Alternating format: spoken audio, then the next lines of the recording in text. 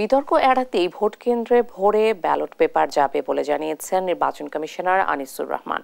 সকালে বঙ্গবন্ধু আন্তর্জাতিক সম্মেলন কেন্দ্রে নির্বাচন কর্মকর্তাদের প্রশিক্ষণ অনুষ্ঠানে এই কথা জানান। তিনি বলেন, সুষ্ঠু ভোটের মাধ্যমে সবার কাছে ভোট গ্রহণযোগ্য করাই কমিশনের জন্য বড় চ্যালেঞ্জ। আনিসুর রহমান বলেন, নির্বাচন কমিশন অবাধ ও সুষ্ঠু ভোট করতে ব্যর্থ হলে রাষ্ট্র ব্যর্থ হবে, এজন্য নির্বাচন প্রশ্নবিদ্ধ করা যাবে না।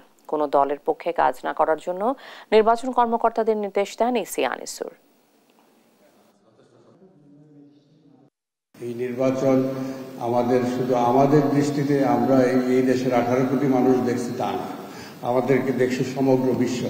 আমরা কীভাবে নির্বাচনটা করব, কতটুকু গ্রহণযোগ্য হবে, এ- এইটা তারা মূল্যায়ন করবে। উদ্দেশ্য একটাই, যে অবাধ, সুষ্ঠু, গ্রহণযোগ্য নির্বাচন। এবং অবাধ সুষ্ঠু গ্রহণযোগ্য নির্বাচন না যদি করতে পারি আমরা, কোনো কারণে যদি আমরা ব্যর্থ হই, তাহলে আমাদের রাষ্ট্র নিজেই ব্যর্থ রাষ্ট্র হয়ে যাবে। আমরা সেটা চাইব না।